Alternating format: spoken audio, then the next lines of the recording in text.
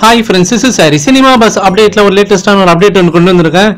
Rajini sir இப்போ வந்து செய்தியாளர் சந்திச்சு பேசியிருக்காரு. அதில் வந்து ஒரு சூப்பரான ஒரு அப்டேட் ஒன்று கொடுத்துருக்காரு. அரசியல் ரீதியாக என்ன சொல்றாங்கன்னா கமலோட கண்டிப்பாக நான் நிச்சயம் இணைவேன்.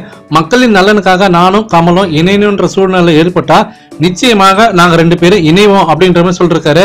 ஸோ இதன் மூலிமா பார்த்தீங்கன்னாக்கா ரெண்டு நாளாக ஆன்லைன் சோஷியல் மீடியாலையும் சரி மீடியாக்கள்லையும் சரி டிவி சேனல்ஸ்லலாம் பார்த்தீங்கன்னாக்கா இதை பற்றி ஒரு விவாதமே நடந்தது. ரஜினி சாரும் கமல் சாரும் இணைவாங்களா? அடுத்து வரக்கூடிய அந்த தேர்தலில் ரெண்டு பேரும் இணைந்து தான் சந்திக்க போறாங்களா அப்படின்ற ஒரு கேள்வி இருந்தது. அதுக்கு ரஜினி சார் இப்போ வந்து விளக்கம் கொடுத்திருக்காரு. என்ன சொல்றேன்னா மக்களோட நலனுக்காக கண்டிப்பா அப்படி ஒரு சூழ்நிலை ஏற்பட்டால் மட்டுமே நிச்சயமாக நாங்க இணைவோம் அப்படின்ற மாதிரி சொல்லிருக்காரு. ஸோ இப்போ இதன் மூலியமா பயங்கரமான ஒரு பரபரப்பை ஏற்படுத்தி கொடுத்துருக்கோம் தான் சொல்லணும். அரசியல் வட்டாரத்தில் கதி கலங்கி போயிருக்காங்க தான் சொல்லுவேன் அதிமுக திமுகலாம். ஸோ ரஜினி சாரும் கமல் சாரும் இணைஞ்சாக்கா கண்டிப்பாக அது மிகப்பெரிய வெற்றியாக தான் இருக்கும். ஹண்ட்ரட் பர்சன்டேஜ் அவங்களோட கூட்டணி தான் ஜெயிக்கின்றது அவங்க எல்லாருக்குமே தெரியும்.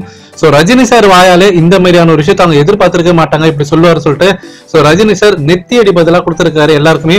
ஸோ மக்களோட தேவை மக்களுக்கான நலனுக்காக கண்டிப்பா இணைய வேண்டிய சூழ்நிலை ஏற்பட்டா நிச்சயமாக இணைவோம் அப்படின்னு சொல்றது மூலியமா ஸோ மக்களுக்காக நான் எந்த அளவுக்கு நான் இறங்க தயார் அப்படின்ற மாதிரி அவர் சொல்லியிருக்காரு. ஸோ ஃபேன்ஸ் நீங்க கீழே கமெண்ட் பண்ணுங்க. ஸோ ரஜினி சார் இந்த மாதிரி பேசுறத நீங்க எப்படி பாக்குறீங்க?